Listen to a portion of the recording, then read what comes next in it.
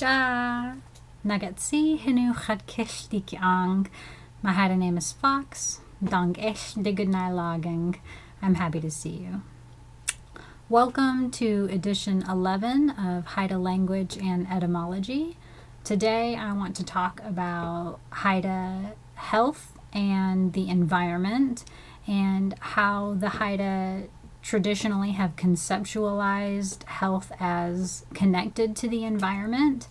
Um, that's actually a pretty common thing in Alaskan Native cultures is to equate physical and emotional and even community health to the interactions and the level of respect that people have for their environment. And that actually ties into a lot of folklore.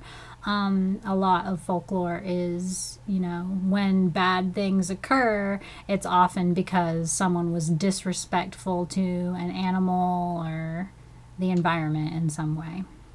So, uh, that said, I want to share with you guys some things that I have noticed um, illustrating this um, just shortly um, in Haida language. And let's get right to that. So, um, my first word that I want to talk to you about here is the Haida word for rheumatism, which is limantisan or um, translates to rain sickness or tsig stiga. Okay? Tsig stiga.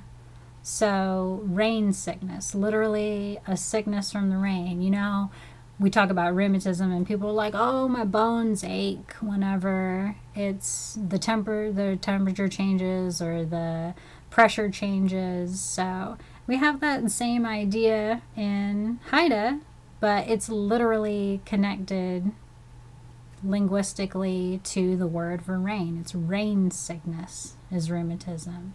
Sieg stiga, okay?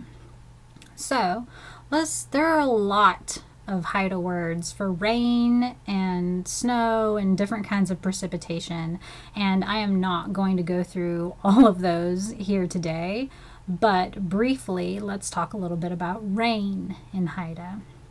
So, a place where it rains a lot is Tsigtlaga, okay, rainy place, Tsigtlaga.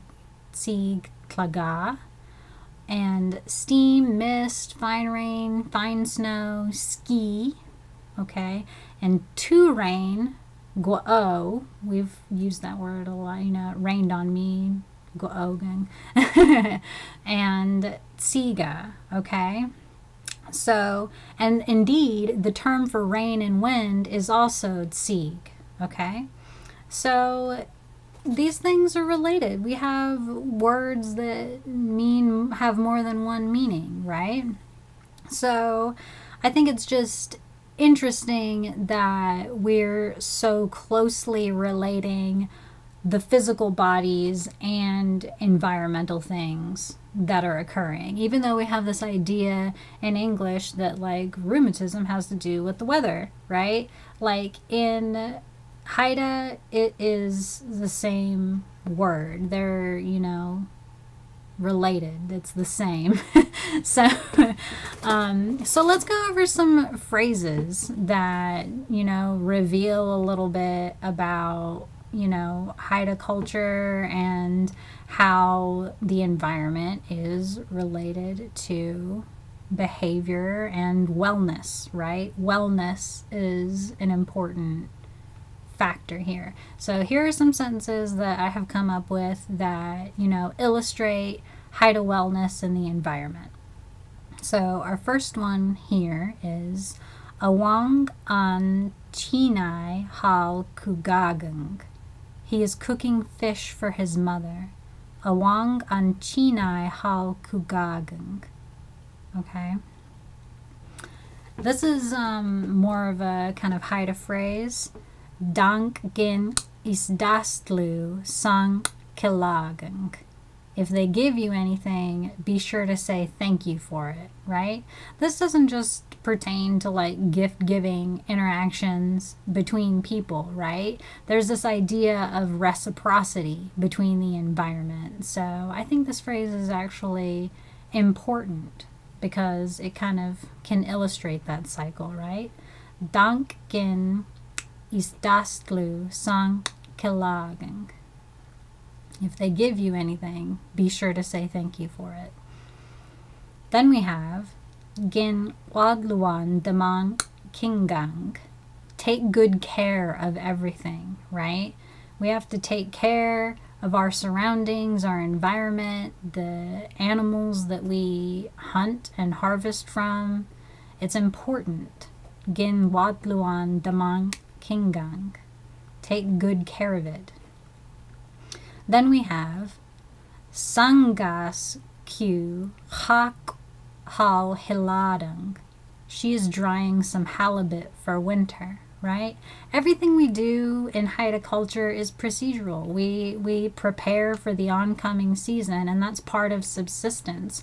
Our activities illustrate like what our needs are for the future and how the environment provides, right? Sangas Q Hak Hal Hiladang. So then we have sangas Sangastlu Chinai Haulasung.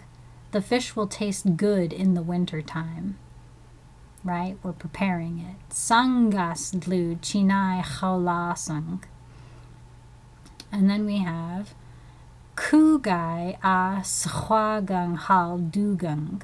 He is going up to the falls to get some sockeye. Right? Kugai a Swagan Hal Dugang. So, not only do you have to have the tenacity to go and do these things, you also have to have the understanding of when the sockeye are going to be up at the falls, right?